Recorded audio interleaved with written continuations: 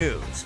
We're now, we begin tonight with breaking news at 11. Police are in New Miami are investigating a possible shooting or a call of shots fired. Alexis Martin just got to the scene. Alexis, what can you tell us? Since I last talked to you around 10:30, police have brought two subjects out of the house. Now, we don't have much information, but they did say the subjects were healthy. I'm going to step out so you can see what's going on behind me. Now, some of the police cruisers have left. The scene is starting to clear out. They did bring both subjects out of the house and put them in two separate police cruisers where they've been continuing to have conversations with them. We were actually close to one of them. They had us move back so they could talk to one of the subjects more.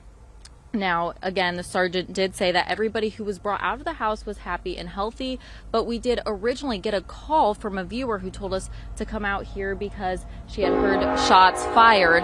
The police presence originally started, they tell us, because there was a domestic event happening outside the house. The subjects moved inside the house and they could no longer make contact with them. Now, police tell me that they are trying to figure out if there's going to be any charges. If they are, what exactly those are.